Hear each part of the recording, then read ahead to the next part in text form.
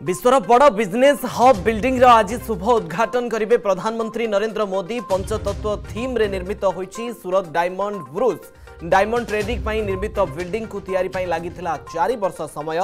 गुजरात मुख्यमंत्री विजय भाई रूपाणी दुई हज़ार षोह प्रकल्पर कर शिलान्यास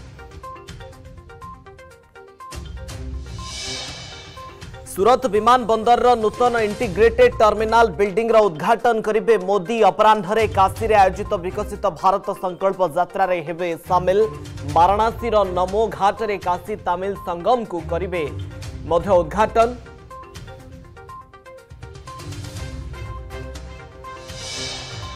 आज सारा देशले पालन हे शोक दिवस Kuwait emir Sheikh Nawaf Al Ahmad Al Jaber Al सबाङको देहांत शोक दिवस घोषणा ଜାତୀୟ ପତାକା ଅଧା ନମନ ହୋଇ ରହିବା ସହ ହେବ ନାହିଁ କୌଣସି ସରକାରୀ ମନୋରଞ୍ଜନ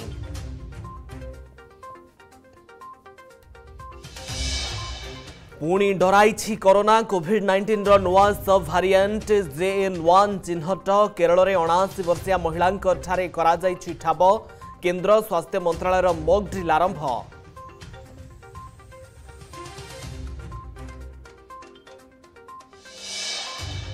ଶୀତରେ ଥରୁଛି ସାରା ଓଡ଼ିଶା ବିଭିନ୍ନ ସ୍ଥାନର ରାତ୍ରି ତାପମାତ୍ରା ହ୍ରାସ ଟ୍ୱିନ୍ ସିଟିରେ ତେର ଡିଗ୍ରୀକୁ ଖସିଛି ପାରଦ।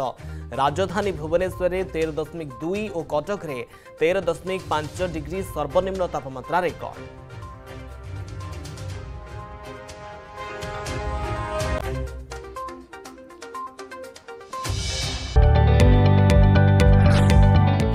जदि आपंक आम भिडी भल लगा तेब आम चेल्क को लाइक सेयार और सब्सक्राइब करने को जमा भी बुलां नहीं।